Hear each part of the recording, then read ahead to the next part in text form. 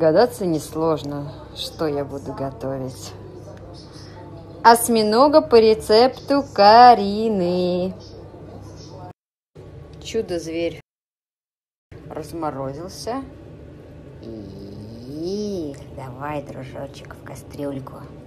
Осьминожки, осьминожки, да, Осьминожки, осьминожки.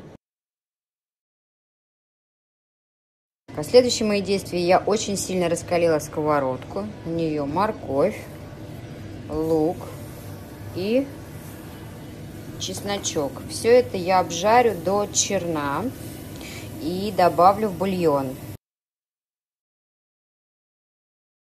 И обжаренные вот эти овощи я во все бульоны у себя добавляю, в рыбный, в мясной, в куриный, потому что эти овощи помимо красивого золотистого цвета дают очень классный аромат и вкус. Здесь, конечно, мне аромат... Меня уже даже эта сковородка специально для таких дел. Она, конечно, до конца уже немножко испортилась. Ну, ладно, кулинария требует жертв.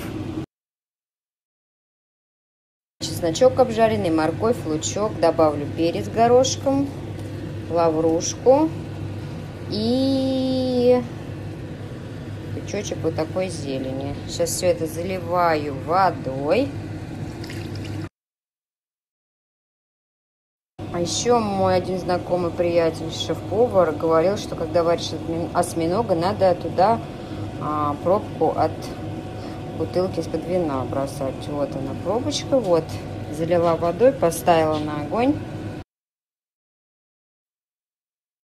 Теперь все это дело должно закипеть. После того, как закипит, я буду варить 30-40 минут. А, у меня осьминог весом приблизительно кило 100.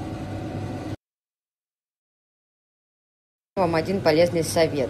Я все бульоны накрываю вот таким вот одноразовым полотенчиком. Вот так оно выглядит, оно в рулонах продается. Объясню для чего. Это очень удобно. Не надо собирать никакую пену, потому что вся пена, какая-то там грязь, она вся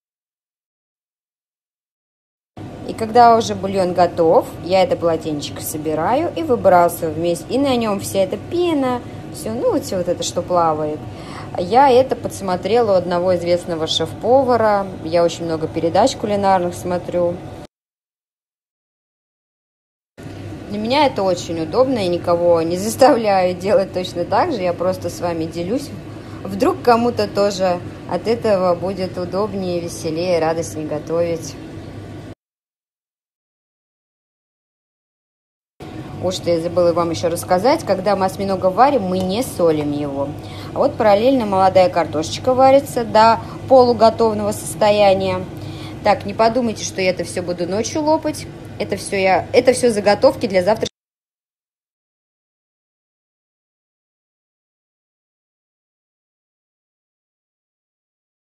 Картошка наполовину готова, чего мне и надо было. Теперь я накрываю полотенчиком. Так вот крышкой сверху. Так я убираю лишнюю влагу из картошки.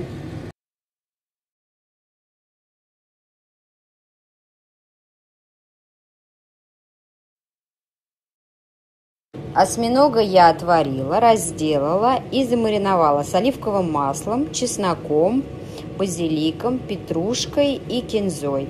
Все это на ночь мариноваться. Завтра продолжение. И в холодильник. Так, на сегодня я на кухне все сделала. Так, продолжение. Осьминог мариновался ночь. Картошечку, вот я его выложила на противень. Картошечку я в это масло, в котором мариновался осьминог, добавляю. Сейчас я все хорошенечко помешаю.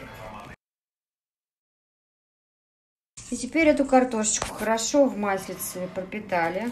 Кладем на противень и вот так вот раздавливаем.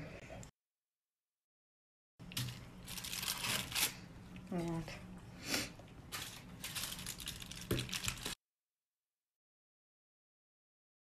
Я уложила всю картошку. Теперь я остатками масла с чесночком, с зеленью все это поливаю. В перчатках я готовлю для того, что первое, мне удобно, а второе, я не люблю, когда у меня руки пахнут чесноком или луком. Теперь мы все это блюдо отправляем в духовку, томиться на медленном огне. У меня я поставила 120, потом расскажу, сколько все это готовила. Ну, давай, осьминожка,